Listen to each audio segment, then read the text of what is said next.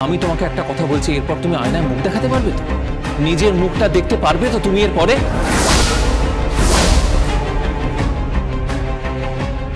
বড়টা কোর্টে হারাও ওকে। কাঠগড়ায় নিয়ে গিয়ে হারাও। দাদা কীভাবে কেসটা হ্যান্ডেল করবে তা নিয়ে তোকে মাথা ঘামাতে হবে না। দাদা সেটা খুব ভালো বোঝে। হ্যাঁ হবে হবে। মাথা ঘামাতে হবে। লাভ নেই।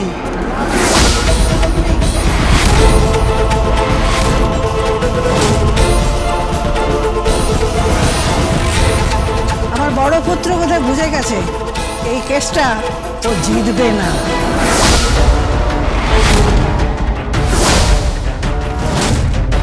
কোর্টের মধ্যে ওর জারি জুরি সব শেষ তাই না?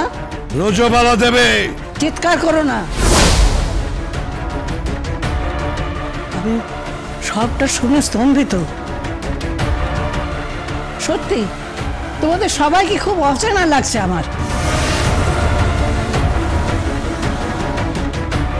পদ্মর মতো এক বাড়ির পরিচারিকার সাথে যা হয়েছে, কোথায় তার প্রতিবাদ করবে? তা না, কোথায় নিজেদের সম্মান আর মুখ বাঁচানোর জন্যে? তোমরা এরকম নোংরা খেলা খেলছো।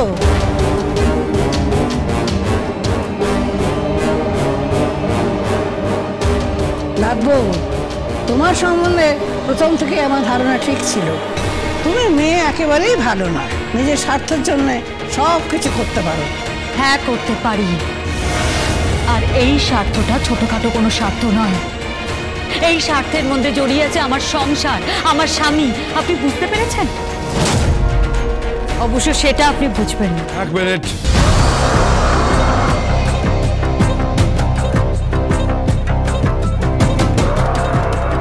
ইনি যা করেছে বেশ করেছে। আর লক্ষণ রেখা অতিক্রম করে অ্যাডভোকেট গাঙ্গুলি যদি কোর্টে পৌঁছয় তাহলে আমাকে সামনে পাবে।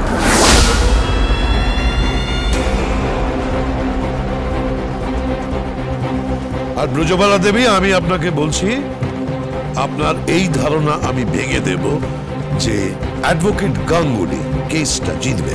আমি বলছি, অ্যাডভোকেট গাঙ্গুলি জিতবে এবং তুমি অপরাজেয়। তোমাকে কেউ হারাতে পারে না।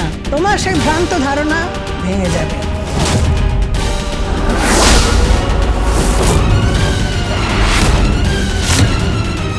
ও জিতবে, আর সেই লক্ষণ রেখাও ওকে আটকাতে পারবে না।